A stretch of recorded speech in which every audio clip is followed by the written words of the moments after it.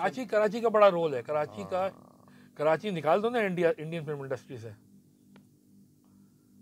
बहुत फ़र्क पड़ेगा उसमें। डिसअपियर्ड लोगों की बीवियाँ आधी बेवा कहलाती हैं हाफ़ विडोज तब वो वॉज़ बोर्न इन कराची। अच्छा। ये 71 की ही बात है।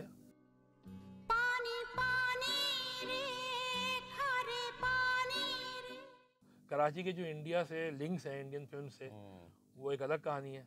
अच्छा कराची के इंडियन सिनेमा से भाई देखो पूजा भट्ट हाँ। कराची आती रहती थी महेश भट्ट तो हमें नज़र भी आते हैं क्लिफ्टन में काफ़ी दफ़ा। पूजा भट्ट ने कहा हुआ है कि खाने पे बहस नहीं करना सबसे बेहतरीन खाना कराची में मिलता है। आगे की बात करो। ये तो है ना। ये है। रीति रिवाज लोगों के लिए लोग रीति रिवाज के लिए नहीं अरे तुम यहाँ? क्यों? घबरा गए मुझे देखकर। अगर ये मज़ाक है तो तुम हंसने के लिए ज़िंदा नहीं रहोगे। बॉस को अपने एक वाक्य सुना रहा था। उनकी आँखों में तो आँसू आ गए और मैं सुना नहीं पाया वो किस्सा। इंडियन फिल्म्स के एक मशहूर विलन मदन पुरी साहब अमरीश पुरी के बड़े भाई। और बहुत सारी फ़िल्मों में आए हैं fifties sixties seventies even eighties में भी आए हैं। वो अपने डेथ बेड पे हैं मरने वाले हैं बेहोशी में हैं। और वो कह रहे हैं किमाड़ी क्लिफ्टन किमाड़ी क्लिफ्टन उनकी बेगम साथ खड़ी थी तो बेटे ने पूछा अम्मा ये क्या कह रहे हैं? उन्होंने कहा ये कराची में कंडक्टर थे।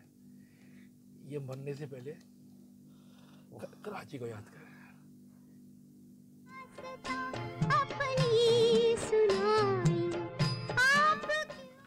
सिक्सटीज़ की सबसे बड़ी heroine Sadhana born in Karachi. तुम बहुत पक पक करने लगे। लाओ अपना लगेज टिकट तो दे दो। तो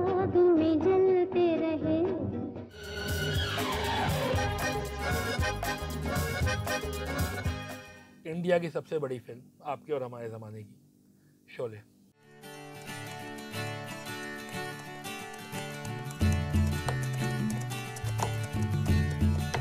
रमेश सिप्पी बॉर्न इन कराची अरे ओ सांभा कितना इनाम रखे हैं सरकार हम पर? पूरे पचास हज़ार। इवन शोले में जो सबसे कम ड्यूरेशन के लिए बंदा आया है लेकिन आज भी सब उसे जानते हैं। सांबा बॉर्न इन कराची नहीं जब तक हम साथ थे तो बच्चे अच्छे पैदा हो रहे थे। हैं? इस सांबा को देख के आपको अंदाज़ा होता है कि बच्चे अच्छे थे? ठीक है भाई मतलब एक्टर तो टैलेंटेड तो थे ना। सिक्सटीज की हीरोइन आदि से पहले ही पैदा हुई होगी। हाँ। तो मैं कहने का मकसद ये है।